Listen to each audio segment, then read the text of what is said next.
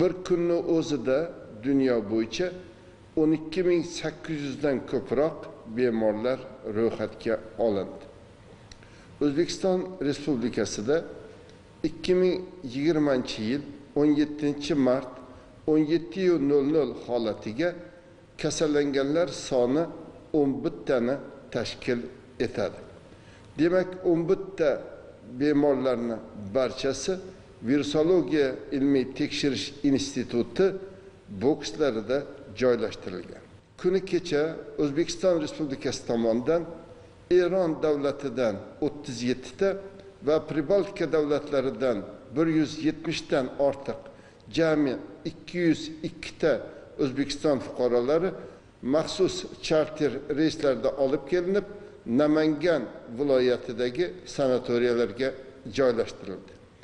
Hozir virusologiya ilmiy tekshirish institutida davolanayotgan bemorlarimizni barchasini ahvoli yaxshi jiddiy asoratlar kuzatilayotgani yo'q va barcha davolash muolajalari amalga oshirilyapti o'zbekiston respublikasida hozirgi kunda qariyb mingta bemor uchun mo'ljallangan dori darmonlar shifo o'rinlari va diagnostik vositalar zaxiralari shakllantirib qo'yilgan.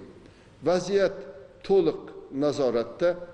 Agar mana shu 11 ta ro'yxatga olingan bemorlarga ahamiyat beradigan bo'lsak bulardan bittasi fransiya davlatidan bittasi turkiya davlatidan bittasi angliyadan bittasi dubaydan kelganligi aniqlandi.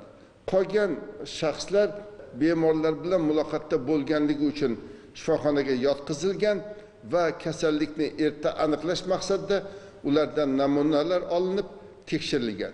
Natijada umumiy kasallik tasdiqlangan bemorlar soni 11 nafarni tashkil etyapti. Umuman o'zbekiston respublikasida kasallikni kirib kelishi va uni oldini olish mabodo kasallik aniqlangudek bo'lsa uni jilovlash kasallik o'chog'ini bartaraf qilish bo'yicha tegishli chora tadbirlar amalga oshirilyapti.